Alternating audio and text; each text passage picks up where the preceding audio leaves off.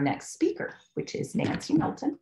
She will come up and I think we will just let Nancy uh, monitor and share her screen. So I will stop sharing.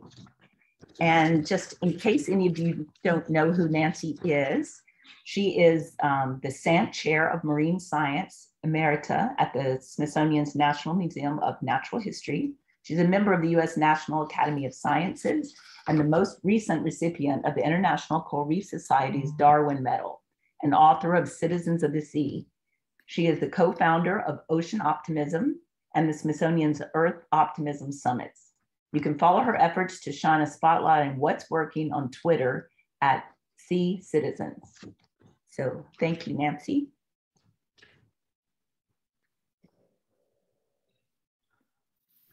Good morning. Uh, can you hear me okay? Yes? Yes. Can you hear me? Yes. Yes. Yes. Okay, thanks. Sorry, just want to make sure. Um, um, Nancy, I'm so, not hearing you. Um, good morning to everyone. Um, we Okay. Melanie, I think you need to turn on or off the unmute original audio. In the interpretation. Uh, in, the, in the interpretation. Mm -hmm.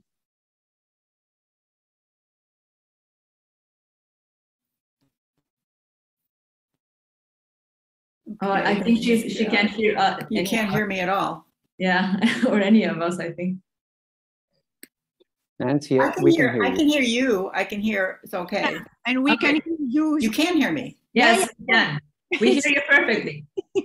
It's just Melanie. So I'm gonna start. I, I unmuted, I took off the interpretation. So Yeah, exactly. if anybody else on that had it set to English interpretation has a problem, that shouldn't happen, but there's a glitch. So just turn off your interpretation when an English speaker comes. That should be automatic, but anyway, not a big problem. Thank you. Sorry. All right. So you can hear me. Excellent. Uh, good morning, and um, muy buenos dias. It's really a pleasure to be here um, and uh, share with you a little bit of my history of how I more optimistic despite the cascade of bad, bad news, which sometimes never seems to stop. So um, let me start off by saying that I'm 72 years old and my entire career has been spent uh, dealing with uh, bad news about Caribbean coral reefs. Um, I did my PhD on the north coast of Jamaica, uh, so it's not part of the Mesoamerican reef, but it is certainly very similar in many ways in terms of the problems it faces and also the species that it can it contains. And the picture on the left was one I took um, just as a beginning graduate student in 1975. And as you can see back then, the reef was covered with living coral, lots and lots of staghorn coral, plus other corals. And, uh, and we considered these reefs very healthy, even though you can tell from this picture uh, that in fact there were problems. Uh, namely, there are almost there are essentially no big fish in this picture at all. There's some tiny chromis up in the upper right hand corner, but basically big fish are absent. Now, back in 1975, we didn't realize uh, there was a strong connection between the health of the corals and the health of the fish committee. And so I have to say, we back then we basically took those reefs for granted. Um, that was a huge mistake because 10 years later, as you can see from the photo on the right, uh, the reefs became covered with seaweed macroalgae, and uh, and the reefs in Jamaica remain in, in very very bad condition. So um, as a result, uh, my husband Jeremy Jackson and I spent literally decades talking about uh, the state of coral reefs as the reefs in Jamaica became more and more not they they remained in terrible shape, but more and more reefs started looking like the reefs in Jamaica. And uh, we we would give lectures all around the world, and um, and they were so depressing. I have to say that we became known as Doctors Doom and Gloom on the lecture circuit. An artist uh, came across one of my talks and took my picture and and acidified it uh, uh using a, some kind of program. And then my husband's talk, "How We Wreck the Ocean," has been viewed well over a million times. It's sort of your epitome of uh, of a doom and gloom presentation. Now, those problems haven't gone away and, in many senses they've gotten worse even in some cases much worse. But one of the things i learned over the course of uh, my career is that if all you talk about is are the problems this can lead to apathy not action um, this, I think, captured really nicely in this cartoon from the New Yorker magazine where a guy sits on the couch talking to his friend and he says, making a difference doesn't make a difference. And sometimes it can feel like that. I, I acknowledge that. It can be really hard to uh, get up and continue to feel like you're having any effect at all when the, when the news uh, keeps hitting you uh, in a hard way. Uh, but one of the, so so in as I say, I, I became aware that um, that this doom and gloom strategy really wasn't working. Actually, talking uh, and teaching students at the Scripps Institution of Oceanography, um, and uh, one of the things I realized was that these students uh, really need to know. They didn't want to just know about the problems. We we were trying to do more that they wanted more than a training on how to write the obituary of the planet and they really wanted to know what they could do to make a difference. And so that was uh, back in about 2009. I started thinking about how to take that doom and gloom messaging and uh, and turn it into something that was more empowering.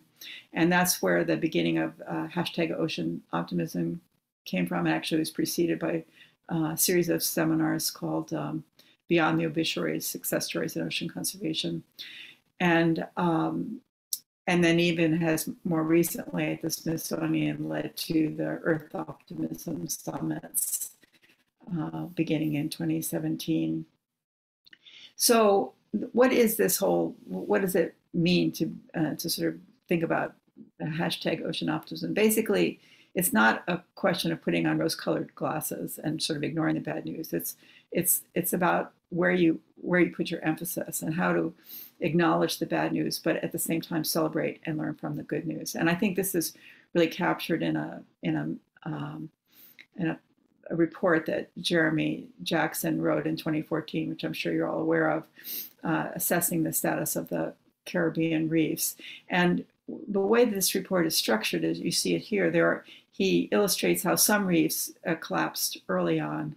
Um, some reefs had kind of a steady climb, but there were uh, reefs that had really stayed in reasonably decent shape, not perfect shape by a long shot, but but had not collapsed uh, ecologically. And so what the report tries to do is understand, you know, why these so-called bright spots occur. And if you search on if you search on Google Scholar for bright spots, you'll see that it's a whole for, it's a whole way of uh, analyzing data to look for the successes and uh, learn from them. And that's really the essence of ocean optimism. It's not some kind of ignore all the bad news uh, approach, but rather uh, just not get mired in the bad news and become paralyzed by it.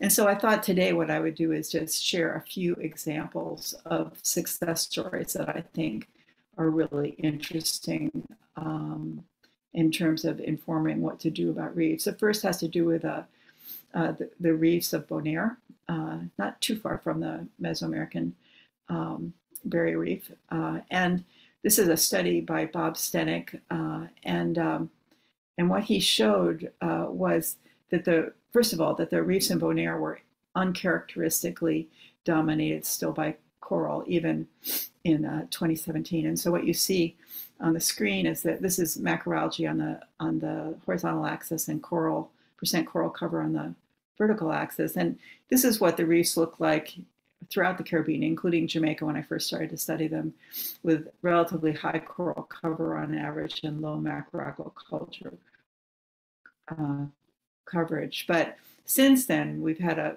uh, throughout much of the Caribbean, uh, a drop in coral cover and an increase in macroalgae. But Bonaire is an exception. Um, and so what he wanted is because here you see Bonaire is up here above the average Caribbean average in terms of coral cover and well below it in terms of macroalgal cover.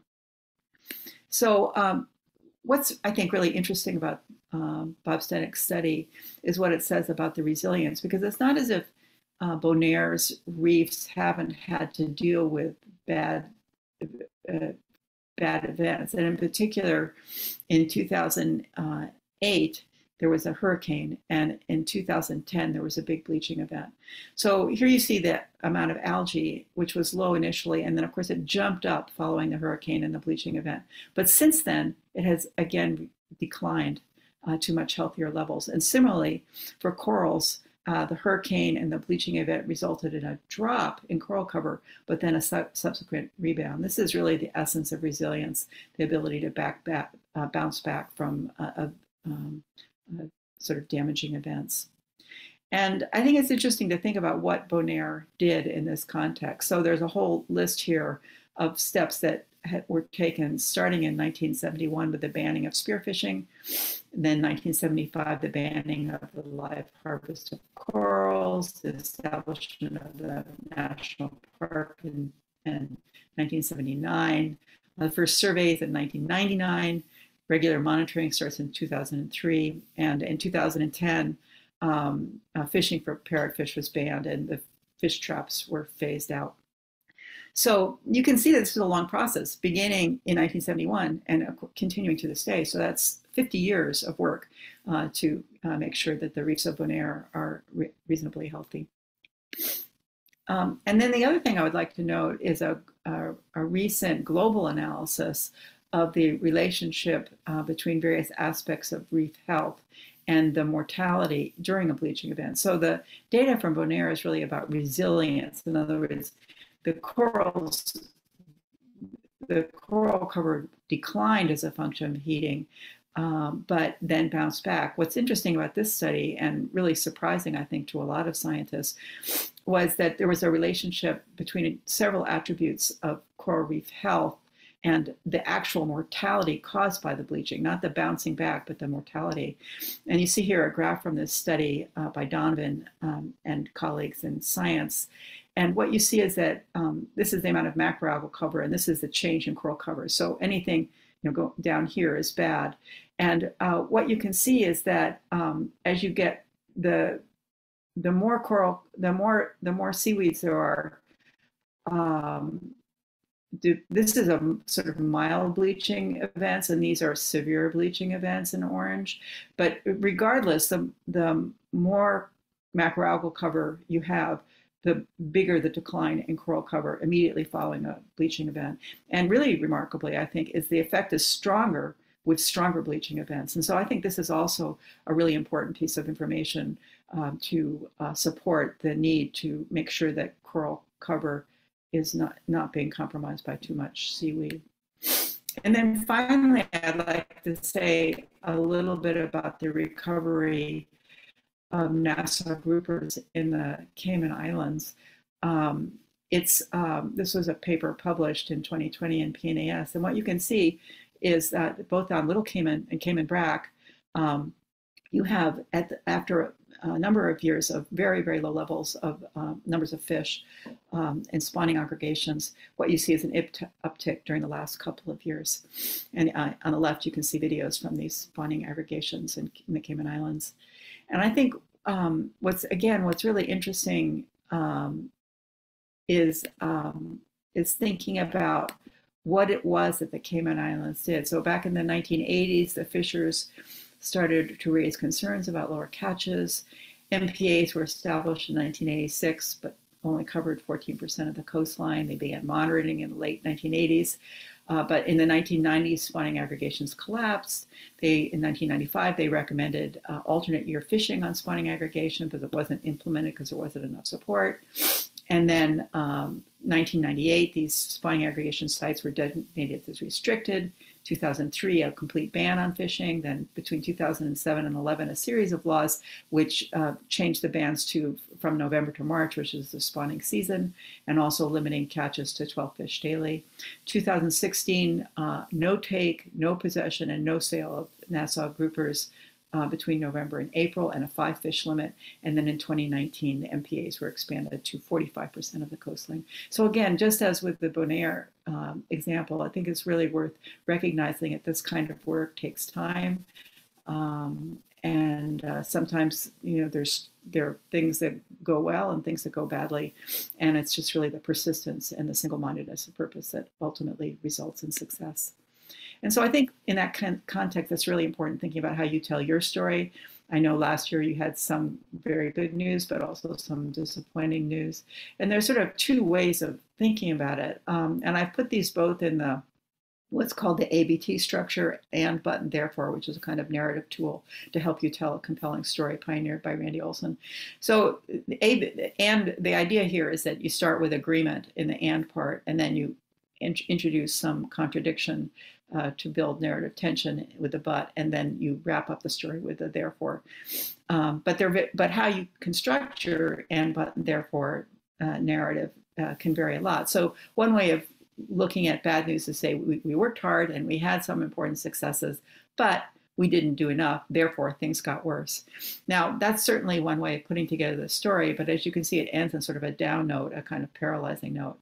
Um, and then uh, the alternative is say to start in the same point of agreement we worked hard and we had some important successes but not all the news was good so acknowledge the issues therefore we need to do more, but also remember that things would have been much worse without the efforts that we made. And so taking it in sort of an empowering structure rather than a, a structure that tends to lead to paralysis. And so um, I'd like to close with a bit of big news. I'm a member of the global board of the Nature Conservancy, and uh, they just concluded in November the world's biggest blue bond deal, uh, worth $180 million, tripling the conservation um, marine conservation budget of the country through a restructuring of the debt. Now, this is obviously good news for Belize, but I think any good news in any part of the uh, Mesoamerican reef is good news for all of the reef because the reef is, of course, one great system and it's very interconnected. And so, with that, I'll close and uh, take any questions.